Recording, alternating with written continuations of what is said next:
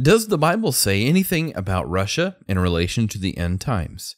We're going to answer that question. You can also discover more on gotquestions.org. With Russia back in the news in a big way, many people are wondering if recent events in Eastern Europe have anything to do with end times prophecy. Much of the discussion has to do with an ancient prophecy from Ezekiel. The word of the Lord came to me, Son of man, set your face against Gog of the land of Magog the chief prince of Meshech and Tubal. Prophesy against him and say, This is what the sovereign Lord says I am against you, Gog, chief prince of Meshech and Tubal. The identities of Gog, Magog, Meshech, and Tubal are the key to fully understanding the prophecy.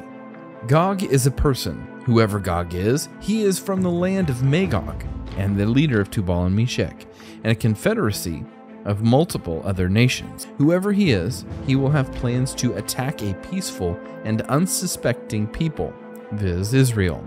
But, regardless of Gog's plans, the Lord God is against him and will defeat him soundly.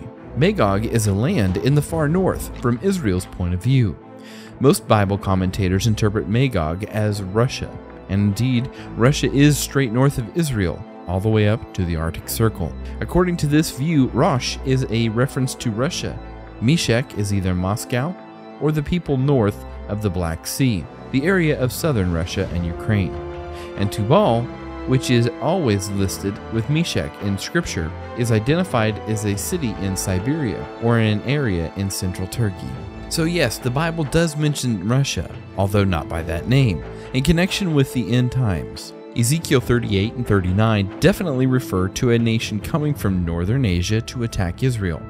After the Cold War, Russia lost its superpower status, making the fulfillment of Ezekiel's prophecy seem unlikely in some people's eyes. However, recent events have shown that Russia is gaining strength, and many believe that the invasion of Ukraine is just a first step in Russia's plan to restore its dominance in that hemisphere. It is also interesting to note that in the Soviet era, Moscow was solidly aligned with several Muslim countries in opposition to Israel.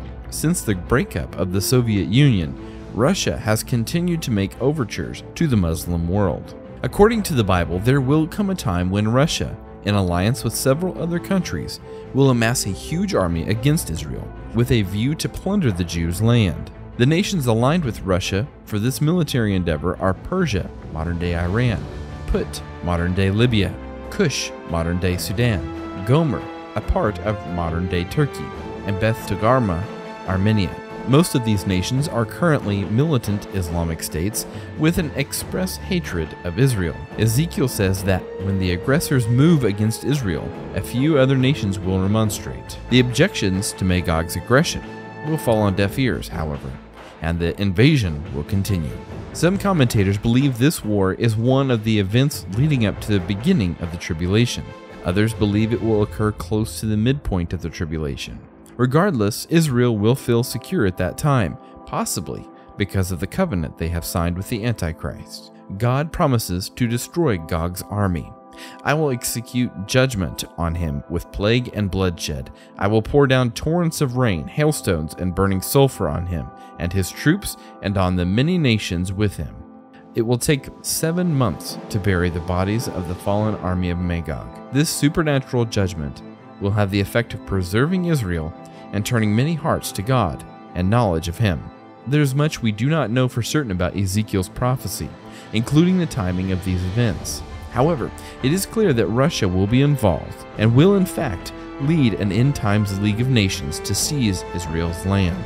The prophet Ezekiel comforts Israel in much the same way as Moses had centuries ago. The Lord your God is the one who goes with you to fight for you against your enemies to give you victory. That answers the question Does the Bible say anything about Russia in relation to the end times?